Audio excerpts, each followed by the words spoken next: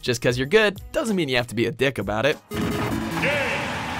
Welcome to WatchMojo.com, and today we're counting down our picks for the top 10 most pretentious video game communities. Quit playing around and fight. For more gaming videos, check out our new spin-off channel, Mojo Plays, for in-depth reviews, thoughtful video essays, detailed character origins, and insightful commentary. Mojo Plays, games smarter. For this list, we'll be looking at the most elitist gaming communities around. Since we're looking at pretentiousness specifically, we'll actually be excluding communities that are more known for general toxic behavior. Keep in mind that we aren't saying everyone in this community behaves like this, but that the community as a whole has a reputation for this sort of behavior. Number 10, Super Smash Bros. series. Melee or bust is what you'll typically hear coming from the SSB community. Ever since the release of SSBM, the fans will not acknowledge the next two entries in the series. While Melee is known for its tight controls, consistent frame rate, and balanced character roster, the game's creator, Masahiro Sakurai, is upset at how the community treats it. He'd prefer each entry to be treated as a brand new game rather than a sequel, as each iteration has introduced new mechanics and features and changed up the character roster. Despite SSB4 increasing the pace and tightening the controls from Brawl, the community will probably never get over their obsession. Number 9, Counter-Strike series. Let's see who you think is going to win. Do you think it's going to be EnVyUs? I hope you learned every single call sign, map layout, and gun in the game. Counter-Strike's competitive community is already well known for its toxicity, but its pretentious behavior also plays a huge role. This is suddenly turning very much in Fnatic's favor, despite the fact it's Envy on match point. Going into a competitive match, your team expects you to know basically everything. If you don't, you're liable to be kicked or shouted at, or maybe both. They say practice makes perfect, but if you can't even get the practice in, then how does the community expect you to improve? And uh, don't expect to learn much in casual play. Number 8, Undertale.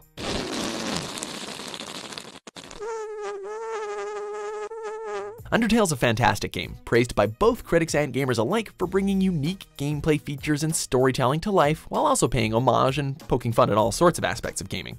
Unfortunately, if you ever speak ill of one of the tiniest aspects of the game, you'll likely never hear the end of it. The community treats Undertale's praise more as a fact rather than opinion, seeing any review of the game below a certain threshold as objectively incorrect.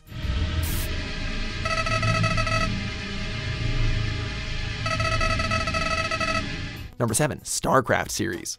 Now, I know there won't be any problems. It's almost like an essential part of competitive gaming is to have an elitist community. You've got your basic pro players who abide by certain strategies that, if you yourself aren't capable of, will be reminded of your own failures. This coming from both enemies and teammates. I think so many things happen, and with so many small moments, we could have been looking at a completely different game of StarCraft 2. Of course, StarCraft 2 isn't just about multiplayer, as even its single player story isn't safe from fans calling the story in Wings of Liberty a waste of your time or a complete load of romantic nonsense. Hey, you can't always please both veterans and newcomers. I heard they put you on ice. Life sentence. Number 6. Dark Souls series.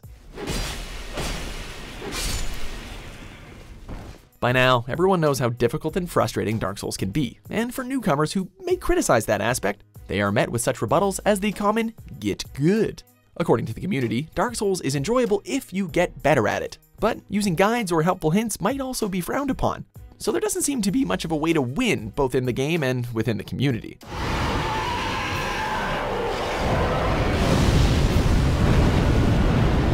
Due to the series' high level of agency, players can tackle challenges in basically any way they please, but the community likes to remind others that their methods are always the best. Number 5. Metal Gear Solid series. Hideo Kojima may be known for his outstanding contributions to the gaming world, but his followers are a bit enthusiastic. It's no doubt that the Metal Gear Solid series is his creation, but it's not like he's the only one that worked on it. This one's a top of the line model. The community tends to hold not just the series, but Mr. Kojima on such a high pedestal while looking at him with their rose tinted glasses. He's a great developer and an interesting storyteller, but loyal fans would have you believe that he's the greatest of all time. Uh, Snake! So, back from the dead? Number 4. Kingdom Hearts series. Alright, Time for some recon. Fans of games will always defend the flaws of their favorite titles. It's inevitable, but how can a community defend something like the Kingdom Hearts series? Well, thanks to several spin offs and too many antagonists to cover in one list, the story's become a pretentious, complicated, convoluted mess where one would have you read through a whole book just to get the basic understanding of what the f is going on. I took it for granted. I thought I had nothing in life to lose. While most of the community understand its flaws, they continue to hold the story in high regard, criticizing complaints with responses like, you just don't understand. Well, I guess we can agree on something. Ugh, where am I? Number 3, The Legend of Zelda series.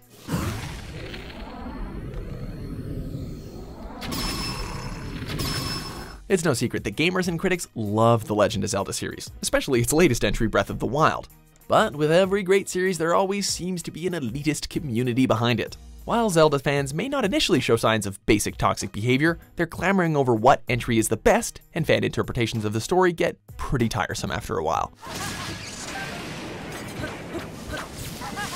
Even after Nintendo unveiled the ahem, official timeline, the community's arguments did not cease, though all this is nothing compared to the classic Zelda community, defending older entries in the series no matter how badly their mechanics may have aged. Number 2, MOBAs. A fair warning before you jump into a multiplayer online battle arena. You cannot and will not ever please your teammates. MOBAs pride themselves on the insane variety of playstyles in their game, and while patches certainly affect the way a hero is played, a player can still successfully develop their own strategies, which apparently is the worst thing you can do. Here I come! Even before you begin playing, players have been known to prey upon wrong hero choices, and reject any playstyle that isn't their own. And don't even get us started on the feud between Dota 2 and League of Legends. Ugh. Before we unveil the most pretentious gaming community, here are some dishonorable mentions.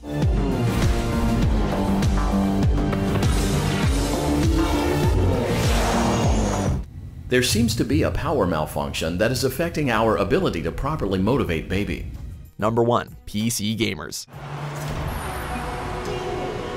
If you're a gamer, you probably heard the term PC Master Race. While PCs are indeed more powerful than their console counterparts, PC gamers take the elite status a bit too far, constantly boasting about their higher resolutions, frame rate, and graphics overall. Aside from constantly mocking ahem, console peasants, PC gamers have also been known to get upset if their game doesn't support a wide variety of options. We get it, you pay a pretty penny for your gaming PC and you want your money's worth. But that really doesn't excuse this kind of behavior.